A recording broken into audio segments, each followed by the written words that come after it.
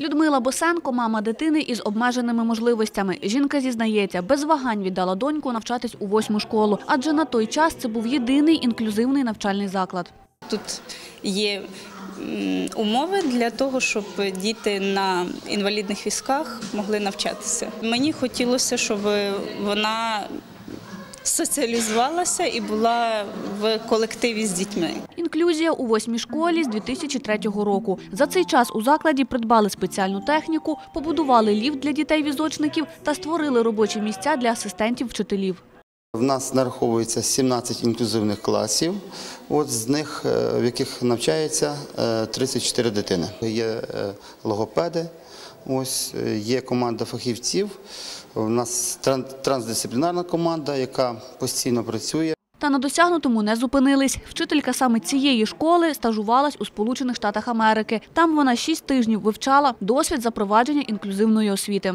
Що стосується галузі інклюзії, то є дуже багато чого спільного, тому що американці є першопрохідцями в цій сфері, вони є першопочатківцями, і ми переймаємо досвід і теорію, і практику в них. Інклюзивна освіта потрібна, тому що за нею майбутнє. На жаль, ситуація така, що кількість дітей з особливими потребами лише зростає щороку. Цих дітей потрібно вчити, і як показує практика, ці діти є активними членами суспільства. Вони є дуже талановиті. Тепер американські викладачі діляться власним досвідом у Хмельницькому. Нолан Патрик вісім років працює вчителем-дефектологом. Каже, працювати з особливими дітьми неважко.